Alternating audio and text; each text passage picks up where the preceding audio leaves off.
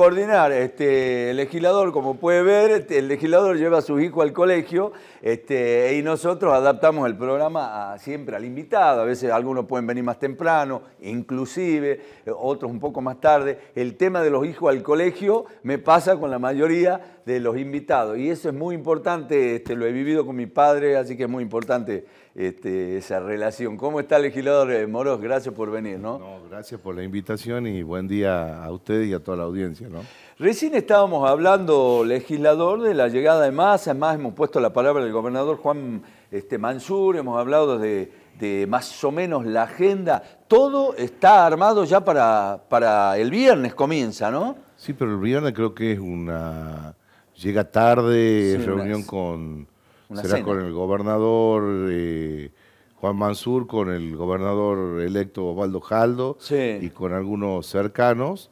Eh, y el día sábado es donde tiene visitas y tiene un pequeño acto, bueno, no sé si será tan pequeño porque... No, va a ser grande, eh, dijo el gobernador. Va a ser un acto donde todos quieren participar, donde Osvaldo Jaldo estos días le ha pedido a la mayoría de los dirigentes, de legisladores electos y actuales, concejales, delegados comunales que, no por el acto, sino que eh, entren en modo campaña, entren a recorrer, entren a militar porque lo que ha pasado en Córdoba se puede ir dando en todos los lugares. Y bueno, ahí tienen ustedes la invitación. Ahí está la invitación, claro. También... Nueve y media de la mañana eh, comienza toda la movida el sábado. Uno siempre llama una hora antes porque generalmente están llegando...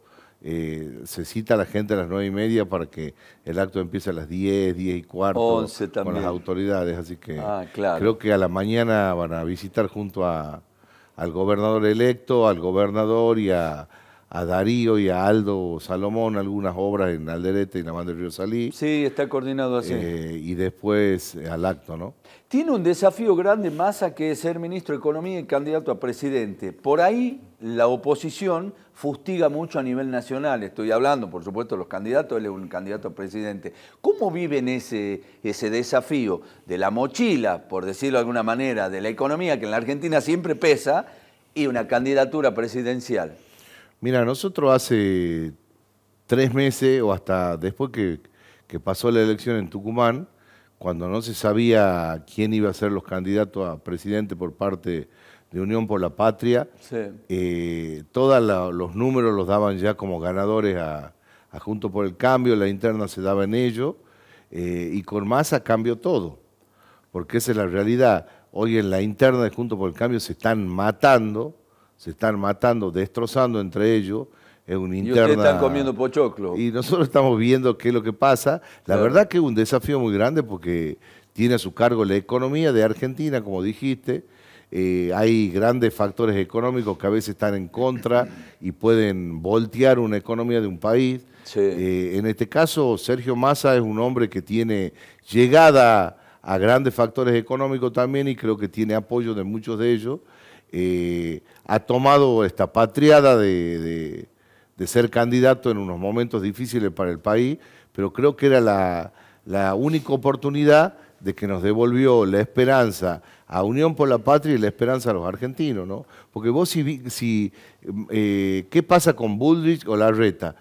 Estamos hablando de despidos, y despidos sin causa y despidos y eliminar la. ¿Creen que va a pasar eso si pues si gana la oposición? Y ellos te lo están diciendo, ¿no? Ellos te lo están diciendo, que la ley de flexibilización laboral, que hay que cambiar con, un montón de cosas. Con no sé si vio el conflicto ayer de Moritán con, con este, un referente del sector de ustedes, no me acuerdo el nombre, este, en donde le decía eso, este, vos tenés tu gente pagándole 70 mil pesos y crees que te vamos a tener miedo y que vas a evitar, jamás vas a evitar los piquetes.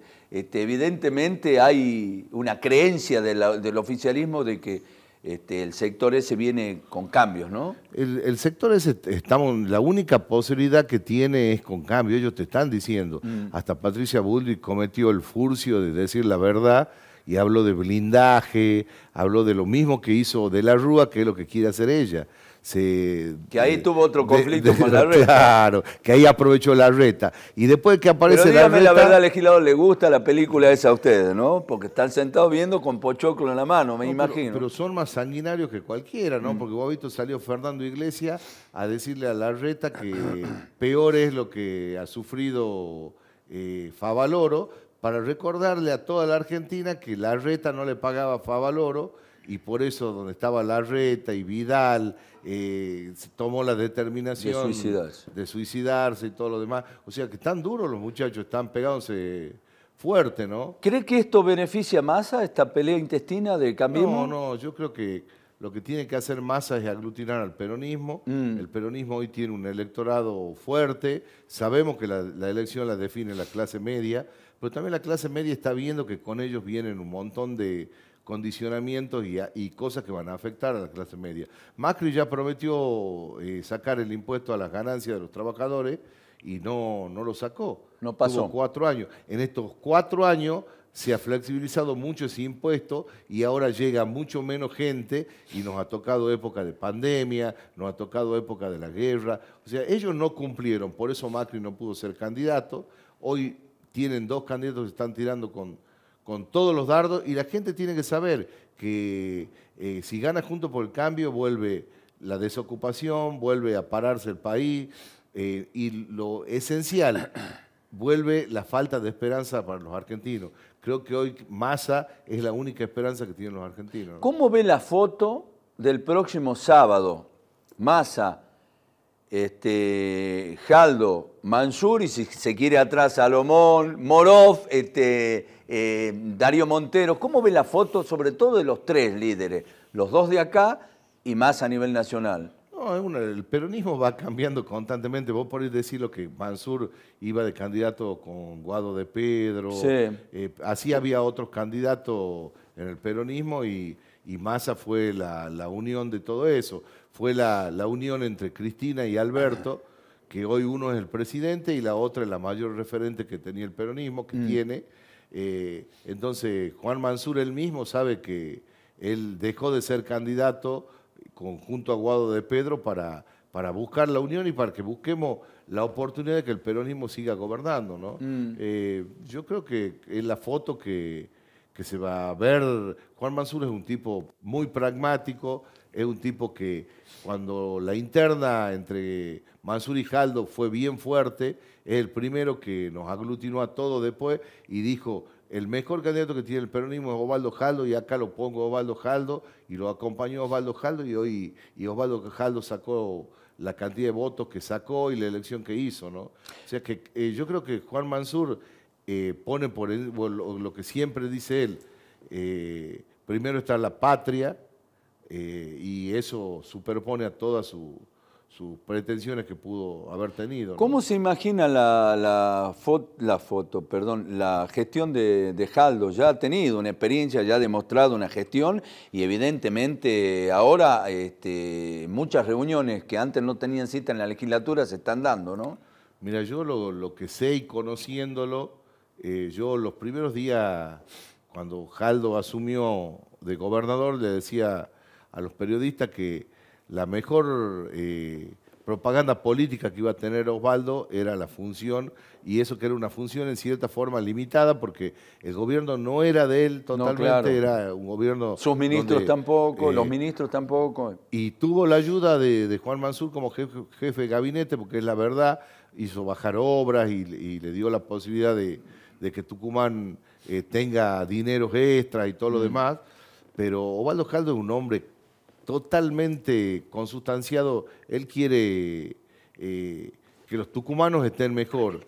Eh, está eh, ¿Cómo la veo? La veo trabajando todo el día, que funcionario que no trabaje se va, lo que recién escuchaba en una radio estaban hablando que está reunido ahora con, la cúpula policial. Por eso pedí el teléfono eh, recién, porque el gobernador, disculpe, le doy pie, no me quería olvidar de eso, usted me hizo acordar. El gobernador electo Osvaldo Jaldo llamó a toda la plana mayor de la policía, Casa de Gobierno, también para este, participar el Ministerio de Seguridad en su totalidad. eh, vuelve a exigir resultados y más resultados, que es la reunión de que me está anticipando. Ahora eso, ¿no? Así es.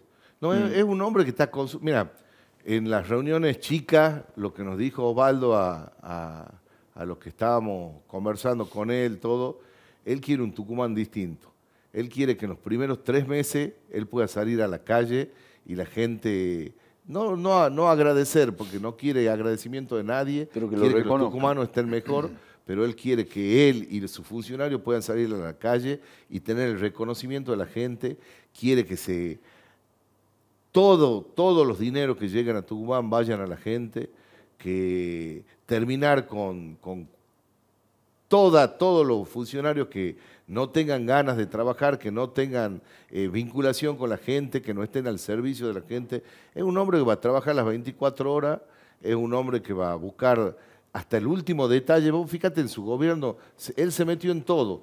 Aparte, no sé cómo hace, pero conoce de todo y está al tanto de todo. Es verdad que está primerísima hora del día ya. Pero yo tengo problemas porque por ahí nos cita y yo dejo mi hijo, mi hija a las 7 de la mañana y mi hijo a las 7 y cuarto. Y, Jaldo nos cita por ahí a las 7 menos cuarto. O sea que hay que... ¿Siete menos cuarto a dónde? ¿En la, legislatura? En la legislatura, Ah, bueno, está complicado. Y, no tenga duda que en la Casa de Gobierno van a cambiar la, la lo que es todos los horarios de todos los funcionarios. Tienen distintos Y a las 7 de la mañana va a estar atendiendo y, por ahí llegan las 12 del mediodía y, sigue atendiendo y, eh, ha atendido, no sé cómo hace, a un montón de gente solucionando un montón de cosas.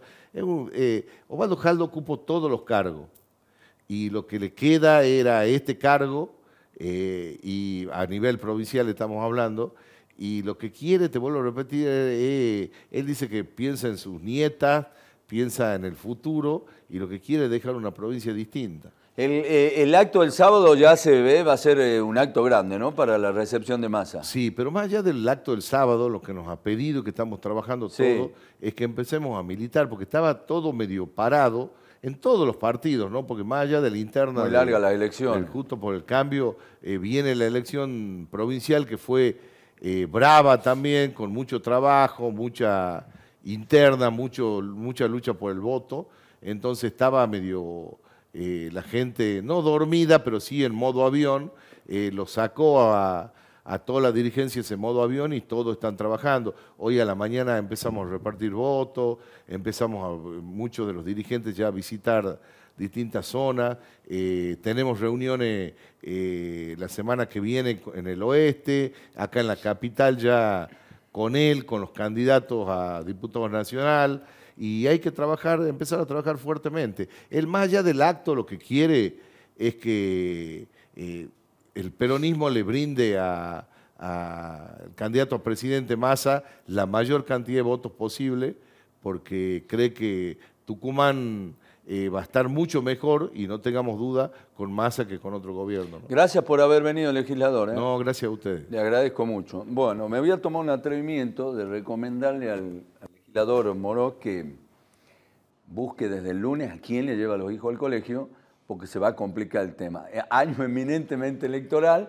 vienen las pasos y bueno, después viene la de octubre, viene la segunda vuelta. No, no, sí, tenemos quien nos lleve los hijos al colegio, tengo algunos colaboradores, pero eh, yo trato de, hasta el último momento compartir con ellos porque la política nos quita mucho de la familia y el poco tiempo que tenemos lo tenemos que aprovechar. Ah, sí, le entiendo una chance. y, los hijos, y los hijos te reclaman, ¿no? No, y con el tiempo peor. Peor, ¿eh? cuando están más grandes peor. Gracias a Dios uno de mis hijos sale ya de la secundaria, así que 7 y 5 ya voy a estar libre a futuro, así que no hay problema. Bueno, ahí está, ¿no? Este, gracias, legislador. Nosotros de acá directamente nos vamos a un Este, tenemos muchísimo más, ya volvemos.